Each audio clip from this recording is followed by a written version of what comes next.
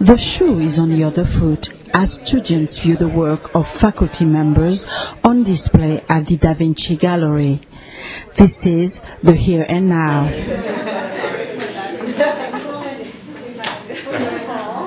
Students and pedagogues cluster around paintings. Students scrutinize, examine and admire the work of their mentors. The opening includes drawings, installation art pieces and mobile arts. The show features the work of 15 faculty artists. I'm really excited about the 2016 Faculty Art Show. Um, it, it's really wonderful to see some of my co-workers work up on display. And this represents the first um, actual public display marking the merger of the two departments. There are so many instructors that we had to, to the, the show had to be divided into two parts. So we're looking at only half of the show. There will be more than 50 students turn out and they appear to enjoy the show. Faculty members submitted artwork to Professor Stacy Wexler, who coordinated the exhibit.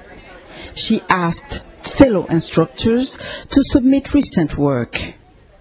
The environment influences the work of one professor in particular.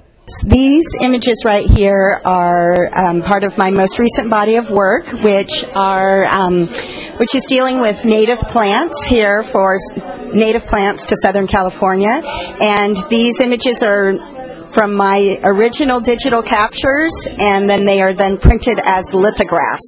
So they are unique lithographic prints.